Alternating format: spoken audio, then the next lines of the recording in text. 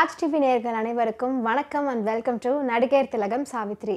நம்ம நிகழ்ச்சியில் சாவித்ரி அவர்களுடைய திரைப்பயணத்தை பற்றின பல சுவாரஸ்யமான விஷயங்கள்லாம் பார்த்துட்ருக்கோம். இன்றைக்கி இன்னைக்கு நிகழ்ச்சியிலையும் உங்களுக்காகவே இன்னும் பல அற்புதமான விஷயங்கள்லாம் காத்துட்ருக்கு. வாங்க நம்ம நிகழ்ச்சிக்குள்ளே போகலாம்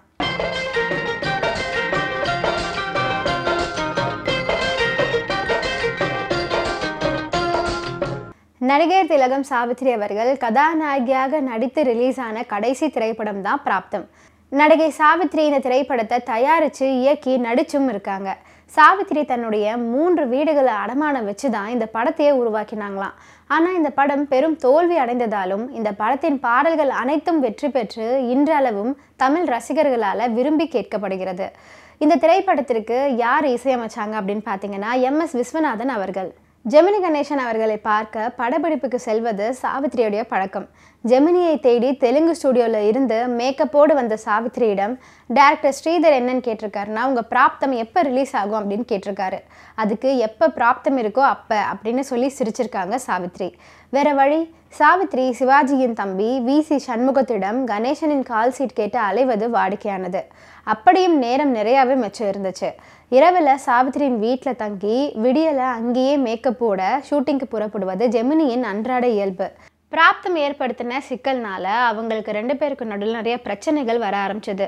பொறுமைக்கு ஒரு சமுத்திரமாக ஜெமினி கணேசனும் புகழுக்கு ஒரு கோபுரமாக சாவித்ரியும் இணைந்து வாழ்ந்த பொற்காலம் ஆயிரத்தி தொள்ளாயிரத்தி எழுபதுடன் பூர்த்தி பெற்றது. சாவித்ரியின் கோபதாபங்களுக்கு ஏற்ப அனுசரித்து நடந்தவர் ஜெமினி. சாவித்ரிக்கு கீழ்ப்படிவதை அவமானமாக ஜெமினி கணேசன் எண்ணியதே கிடையாது. காரணம் சாவித்ரி மீதான எல்லையற்ற பிரேமம்தான். சாதிக்க நினைக்கும் திறமை நிறைந்த பெண்களை பார்க்கும்போதே நான் பிரமித்து நிற்பேன் பாராட்டவும் நினைப்பேன். சாவித்திரி செய்த எத்தனையோ தவறுகளையும் மிஞ்சி அவளிடம் எனக்கு பாசத்தையும் நேசத்தையும் உருவாக்கியது அதுதான் அப்படின்னு ஜெமினி கணேசன் சொல்லியிருக்காரு. தராசின் தட்டுகள் எடைக்கு ஏற்ப மாறி மாறி உயர்வதைப் போல ஜெமினியும் சாவித்திரியும் போட்டி போட்டுக்கொண்டு சம்பாதிச்சு உல்லாசமாக செலவழிச்சிருக்காங்க. நிஜத்தில் யார் பெரியவர் என்கிற ஈகோவே அங்கே கிடையாது. ஜெமினி கணேசன் சாவித்திரி இணைந்து நடித்த ஆயிரம் ரூபாய் உள்ளிட்ட பல படங்களில் தனது பெயருக்கு முன்னாலோ பின்னாலோ நடிகர் திலகம் சாவித்ரி அப்படிங்கிற டைட்டில் கார்டை பார்த்து ஜெமினி கணேசன் பெருமிதம் பட்டிருக்காரு. ஒருபோதுமே பொறுமியது கிடையாது. பிராப்தம் முடிந்தும் ரிலீஸ் ஆகாத சங்கடம்.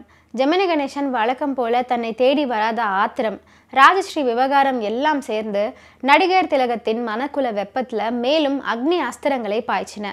ஜெமினி உடனான தகராறு குறித்து விசாரித்தவர்களை சாவித்ரி ஆவேசமாக விலாசி தள்ளினாங்களாம்.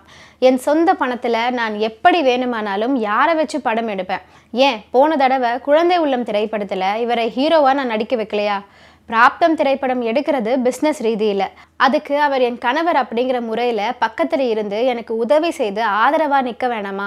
எக்கேடாவது கெட்டு ஒழிஞ்சு போ அப்படின்னு ஒதுங்கிக்கிட்டா எப்படி? என்று சாவித்ரி அவர்கள் கோவப்பட்ட தருணங்களும் இருக்குது தெரிஞ்சோ தெரியாமலோ தப்பு பண்ணிட்டு தன்னந்தனியாக நடு கடலில் ஒரு தீவில் நின்று தவிக்கிற நிலைக்கு நான் ஆளாயிட்டேன்.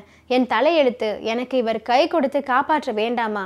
இவரை விட்டால் இந்த சினிமா உலகத்தில் எனக்கு யார் இருக்காங்க? அநியாயத்துக்கு என்னை கைவிட்டுட்டு ஒரேடியாக ஒதுங்கிட்டாரே. முன் மாதிரி தினமும் என் வீட்டுக்கு வரதும் இல்லை. எப்பாவது வராரு வந்தாலும் என்னோட முகம் கொடுத்து பேசுறதும் இல்லை. அவர் பேசலைங்கிற போது நான் ஏன் அவரோட பேசணும்? நானும் பேசுறதில்ல. இதுக்கு தான் அன்னைக்கு எங்கள் பெரியப்பா சௌத்ரி அவ்வளோ தடுத்தும். அதையெல்லாம் மீறி ஏற்கனவே கல்யாணமாகி குழந்தைகளோட இருக்கிற இவரை மனசார விரும்பி கட்டிக்கிட்டேன். இப்போது உனக்கு சந்தோஷமாக இருக்கும். பின்னால் நீ ரொம்ப கஷ்டப்படுவ அப்படின்னு பெரியப்பா சொன்னது சரியா போயிடுச்சு அப்படின்னு சாவித்ரி அவர்கள் வருந்தியும் இருக்காங்க. காதல் மன்னனும் நடிகர் திலகமும் எந்த தருணத்தில் ஒன்று கூடினார் என்பது எவருக்கும் தெரியாது. அதே போல ஆயிரத்தி தொள்ளாயிரத்தி எழுபதின் இறுதியிலோ ஆயிரத்தி தொள்ளாயிரத்தி எழுபத்தி ஒன்றின் துவக்கத்திலோ அவர்கள் பிரிந்த நொடிகளும் முகவரியற்று போயின. எளிமையையும் வெள்ளை மனமும் கொண்ட கண்ணன் கதாபாத்திரத்துக்கு சிவாஜியை விட்டா வேற யார் இருக்காங்க? சாவித்திரியிடம் அவர் சின்னம்மா என்று குழைவது ஸ்ரீகாந்துக்கு தேங்க்ஸ் சொல்வது ஸ்ரீகாந்தை சாவித்திரிக்காக அரைந்து விட்டு வருவது அப்புறம் சிவாஜி சாவித்திரியை சாப்பிட வைக்கும் கட்டத்தை லேசாக நம்மளால் மறக்க முடியுமா? படம் வெளிவரும் முன்பே பிரபலமாகிவிட்ட பாடல்கள் அருமையான பின்னணி இசை. பிராப்தன் திரைப்படத்தில் எம் எஸ் விஸ்வநாதன் அவர்களுடைய இசையமைப்பில் எல்லா பாடல்களுமே இன்றளவும் ரசிகர்களால் ரசிக்கப்பட்டதாக வருது. அந்த வகையில் அமைந்த ஒரு ஃபென்டாஸ்டிக்கான பாடல் தான் சலசல ஆத்தோட்டம் அப்படின்னு தொடங்கக்கூடிய பாடல்.